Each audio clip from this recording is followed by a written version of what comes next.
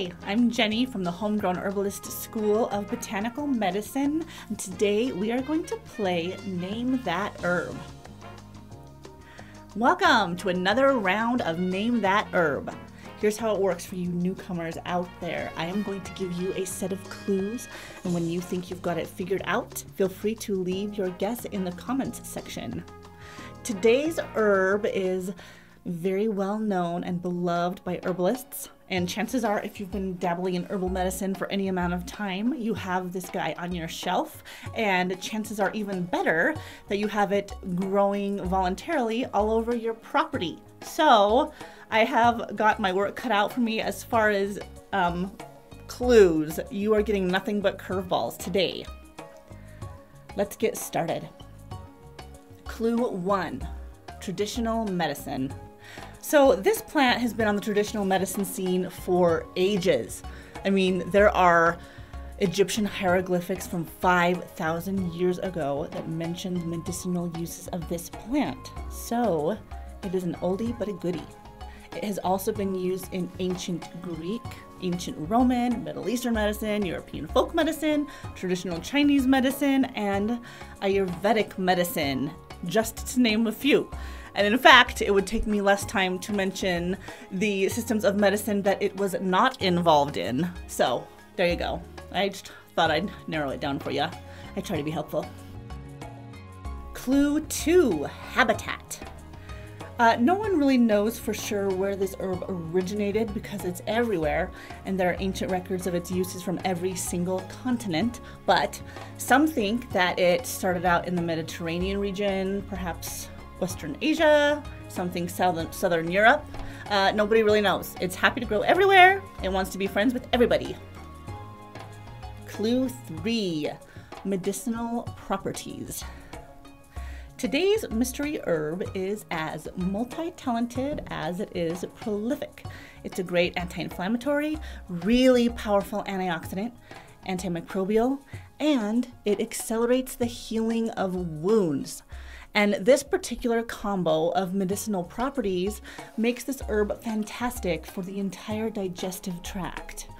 A mouthwash tea made from this herb can be used to address gingivitis, periodontal disease, mouth sores or infections. It's also a mild cholagogue, which means that it stimulates flow and um, production of bile, and that can really help with indigestion. And its cholagogue um, activities and along with its anti-inflammatory properties uh, really make it a wonderful addition to formulas that are designed to address gallbladder and liver issues. This herb accelerates the healing of wounds and ulcers throughout the entire digestive tract. It's a mild antibiotic and it can be helpful in managing microbial imbalances in the gut. And like I said, it is an antiviral um, it's more effective against some viruses than others. Um, it's very helpful for shingles, measles, and chickenpox. And not only is it medicinal, the entire plant is edible and delicious and commonly used in soups, stews, and breads. Clue 4 History and Folklore. Um, early Christians called this herb Mary's gold, and they believed that a constant association with it would ward off evil. The French used to call this herb gauche fer. Gauche fer. Literally, excuse my French, uh, which means left hand iron, because they thought that the bright little blossoms looked like the shiny polished shields that warriors wore on their left arms. In India, this flower has sacred meaning and it represents surrender to God.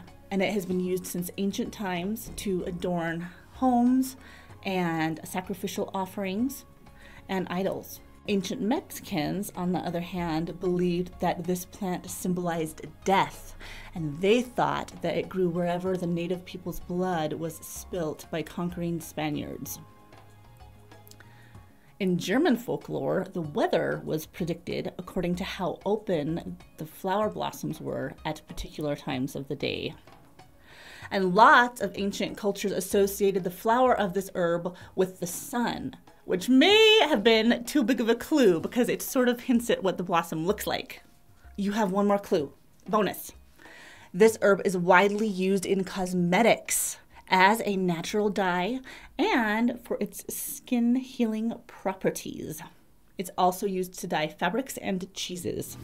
It is time to guess. Leave your guess in the comments section.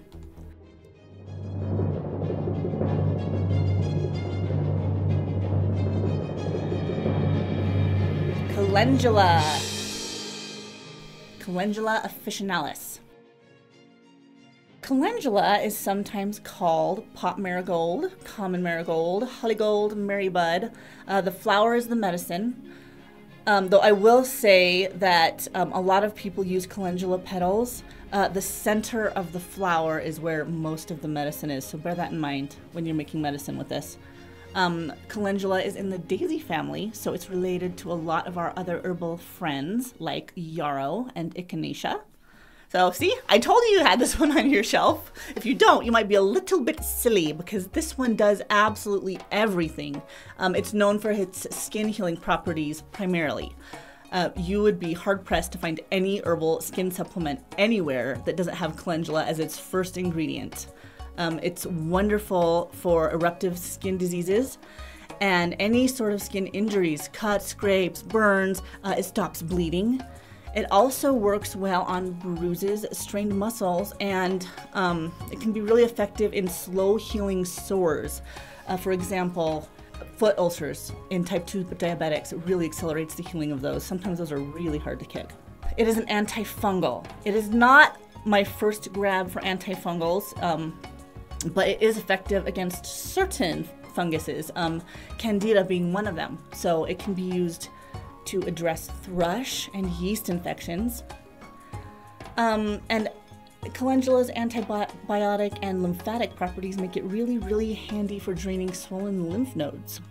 One of my favorite things about calendula is it's a wonderful herb of friends for children. If you're ever wondering how to get your kids really, really excited about herbal medicine, calendula is the perfect place to start. Everything about this plant is incredibly appealing to them. You know, it has these cute little seeds that look like claws. They're very easy to grow. Kids can take pride in planting them in pots on your windowsill or tend their own, own little patch outside, and they don't need much supervision to be successful in that. Um, they have those bright, beautiful, sunshiny flowers. And um, they are really fun to observe and interact with. You can teach your kids to watch uh, to watch them because they have some really fun behaviors um, that have to do with the sun. They open at the same time every day and they close at the same time every evening, and the little blossoms sort of follow the progression of the sun as it moves across the sky. So that's fascinating to kids. Um, medicinally, it's a real superhero, and most importantly, it doesn't taste bad.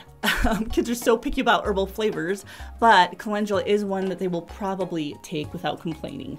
Um, I know I'll always be grateful for calendula because it was the very first herb that my boy fell in love with when he was little, and he is 14 now, and he is very, very passionate about herbal medicine still. And he has a special attachment to calendula still. And that wraps up today's episode. If you are interested in learning more about calendula, we have a fabulous long monograph in our school. Join the Homegrown Herbalist School of Botanical Medicine. Um, we also have a really one wonderful module on the skin, and we discuss all of the other herbs that are really, really, really great for skin issues. And we, you know, calendula is a star in that module as well. So it gets a lot of attention in our school. Um, and if you're interested, you know, we also teach uh, how to grow it, how to harvest it, how to make medicine, and all of the special uses for it. It's really, really a mind boggling plant. Uh, don't forget to uh, like this video and subscribe. That really, really helps us out. And leave me a comment. I would love to know if you were able to guess before the big reveal. Let me know which clue kind of clued you in. And again, I am Jenni from the Homegrown Herbalist School of Botanical Medicine. Thanks for listening.